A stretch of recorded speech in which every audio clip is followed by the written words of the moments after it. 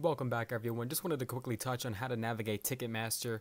We have some people that are really brand new to the business. In fact, they've never even bought tickets in their lifetime or maybe they're really not tech savvy at all. Not that you need to be tech savvy to do this business, but maybe they just need a little bit of a boost, just some extra assistance when navigating whether it's on a mobile device or on a desktop. So let's just take a look at Ticketmaster quickly and I think this video you'll find very helpful. So on Ticketmaster, right, I mean, this is the hub to buy all tickets, no pun intended, given we are a ticket flipping hub. And I mean, you could buy anything from sports to concerts to miscellaneous events to comedy to wrestling to boxing, anything and anything. I mean, any event, any major event that's anywhere, it all originates from Ticketmaster. That is the major, major ticket ticketing platform for essentially every artist, team, band on planet Earth. At least predominantly in the United States as well as some major countries.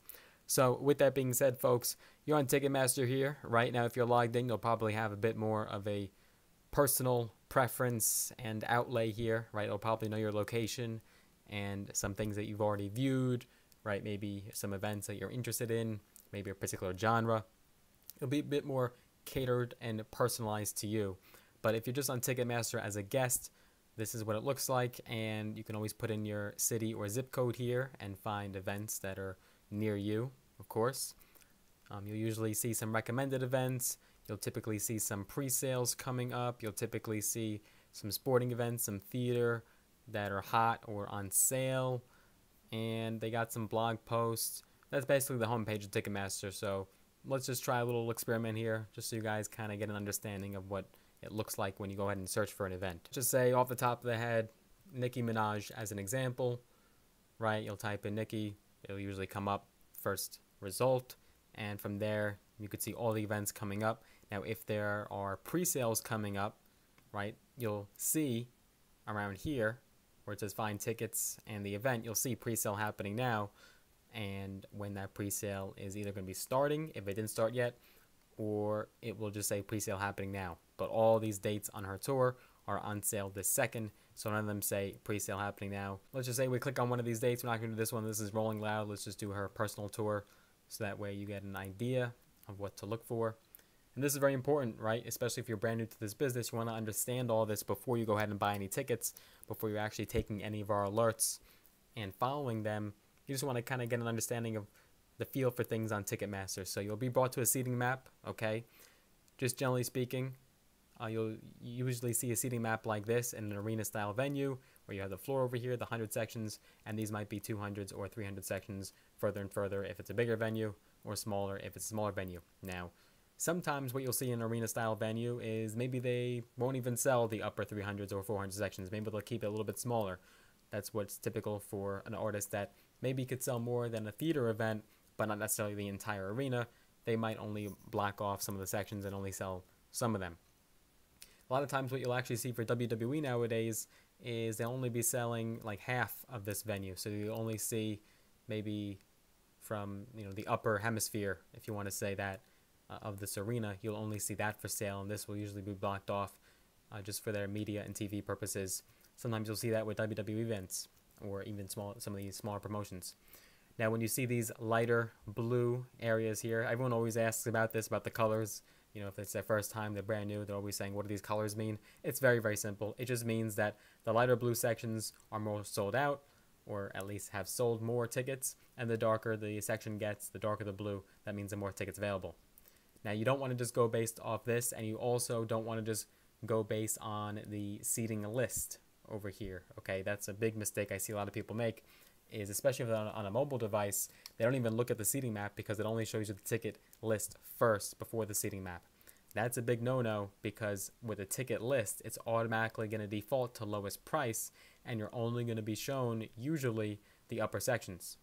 Okay? That does not give you all the options and if you had to if you wanted to buy better tickets, you'd have to scroll through all of these tickets, which is going to take a long time. So that's a big no-no. Do not buy just based on the ticket list. Now you could hover over the best seats, but that doesn't necessarily mean that those are the seats that you want to buy either. Okay, we talk about all this in our video training. We talk a lot about seating and what are the best seats to buy. The video training included with our Ticket Broker Gold program. Okay, so what is always best to do is to zoom in on the seating map. Okay, a lot of these tickets are sold, and you can see a lot of them are verified resale tickets, so that's why this seating map, you have a lot of red here. Those red dots or red seats are verified resale tickets. The blue ones are original tickets, original to Ticketmaster that have not been purchased yet. Of course, anything that's white out, or if you zoom in even further, you'll even see that those dots are gray. Those gray dots have sold. Now, it doesn't necessarily always mean that because sometimes if that section is blocked off, then those gray dots may have not even been available in the first place. So just some basic knowledge for you folks. And if you're on a desktop, you can always drag this with your mouse. You click on it and hold it, and you'll be able to hover over the seating map and get an aerial view of everything. You can do the same on your phone. Okay. So again, all the red dots are resale tickets being resold just by sellers like us. Okay. There might even be some members in there that those are their tickets. Now, of course, it will show you the stage. Okay, so that's what the stage looks like. And a lot of times in an arena style venue, you'll also see a pit. Okay, so sometimes this is not reserved seating. Actually, a little bit surprised for Nicki Minaj why there was not a pit offered when she'd be an artist that I think would happily welcome a pit, but I guess that was just the artist and venue choice. Uh, so usually a lot of times there'll be a pit here or general admission section near the stage. In this case though, it's all reserved seating. And that is basically it as far as what Ticketmaster looks like on a seating map. Okay, you got your ticket list here. Again, a lot of these verified resale tickets, so a lot of these tickets have sold. It will always give you some more info on the event.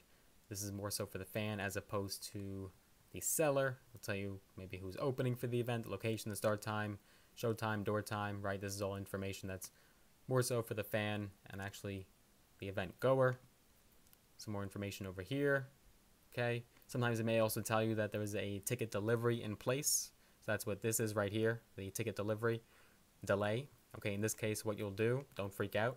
If there is a delay on your tickets, you'll just simply list them on, on StubHub as a delivery day delay, you know, as far as the ticket transfer having to take place closer to the event or, you know, the day of or day after that it's saying that, that those tickets will ultimately be delivered or if Ticketmaster resale is eligible, you just resell them on Ticketmaster, and Ticketmaster handles all that as far as delivering the tickets to the buyer, and you don't have to worry about any of that.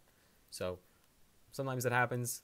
You know, ticket delivery delay is a lot more common nowadays than it was maybe back then, but it's the same process, nothing really different. You just on StubHub, if you're selling on StubHub, want to put that you're transferring the tickets later as opposed to this second. Just make sure you do that. Otherwise, maybe the customer might start wondering where their tickets are. So just make sure that you have that setting in place and we also talk about that in our video training. Ticketmaster is pretty easy to navigate. Nothing too complicated with Ticketmaster. They really streamlined their site and platform to make it as user friendly as possible. And it's pretty simple, pretty straightforward. Uh, another tip I'd recommend is that always look down here for more events, right? So sometimes what happens is, is let's say, you know, we're alerting a few events, right, in our one of our stub alerts, and you know multiple venues and dates are alerted. And then you go on this first page here and you might say hey you know where's where's this date that i'm looking for?